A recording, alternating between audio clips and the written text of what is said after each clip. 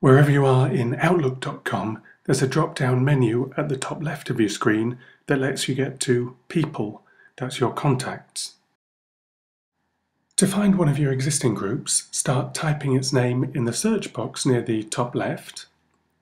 One of my groups is the Aardvark Appreciation Society, so I start typing, there it is, and I click on it. I could tick or check the groups box, but if I do, then I can no longer see the members and I can no longer edit them. So I untick the box, click on the group again, then to add a member I go to the toolbar and click edit and I get a box entitled add member and I can start typing the name of a contact in that box. When I start typing there are some options. I'm going to add Andy Damson to the group and then if I start typing again, some more options appear, and this time I'm going to add Andy Fig. Then all I need to do is click on Save, and those two people are added to the group.